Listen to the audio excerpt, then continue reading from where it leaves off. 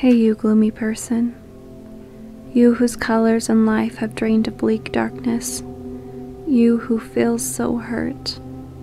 You who has lost sight of hope, who has stopped believing in happy endings. I know. I've been there. I still go there sometimes. I don't want to say goodbye.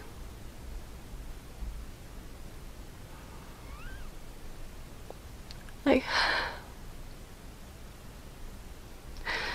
every time I say goodbye to someone, I have this fear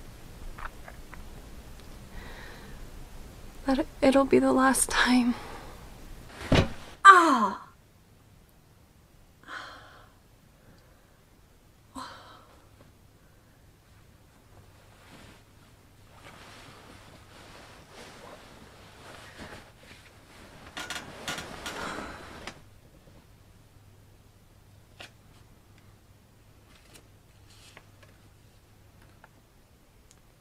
Jess, I figured you'd still be asleep past noon, so I went ahead and did the dishes even though it was your chore.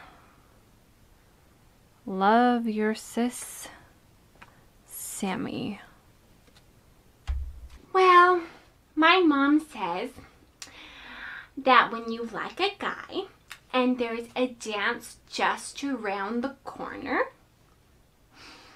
then you should go up to him and ask him to the dance.